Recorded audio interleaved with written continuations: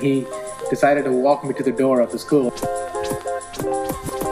I do this six days a week, you know, and, and this is my life now.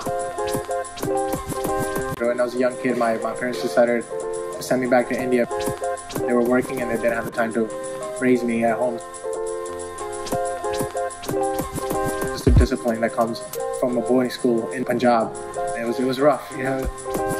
My name is um, Mansher Khera, and uh, I was born in New York. I started training at a gym in Queens.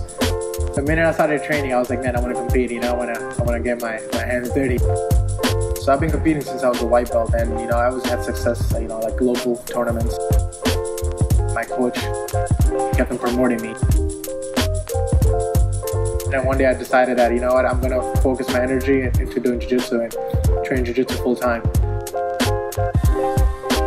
Doing great so far. And when he moved to New York, he decided to open up a school. But I, I, I was very young in jiu-jitsu and I, I, didn't, I didn't know who Marcelo Garcia I was. First day I trained here and it was, it was uh, the toughest jiu-jitsu training I ever done. That was the first time I remember after waking up in the morning and feeling like, oh man, I can't do this again. The biggest tournament I, I won was, you know, um, the No-Gi Worlds. And not only did I win my weight class, I also won the absolute division, which is, you know, all the weight categories combined together.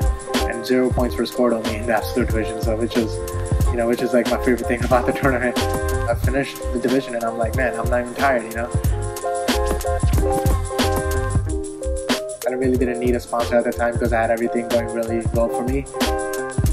But then, you know, I, I started talking more with Azad and, you know, we got more deeper into the meaning of the company Wootz it's more than just a company, you know, it's really personal. And I think, you know, it's very important for me because, you know, growing up in India and coming to Queens, New York, I started losing some of the things. I hang out with Brazilians all day and, and I'm turning more Brazilian, I think, day by day. So, you know, I started losing the connection. So when I talked to him, he kind of inspired me and, you know, he kind of reminded me of like where I came from and what I am.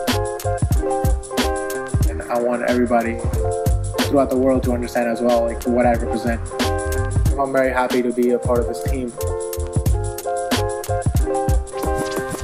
I never gave up on my, my dream and my goal is to be the best in the world.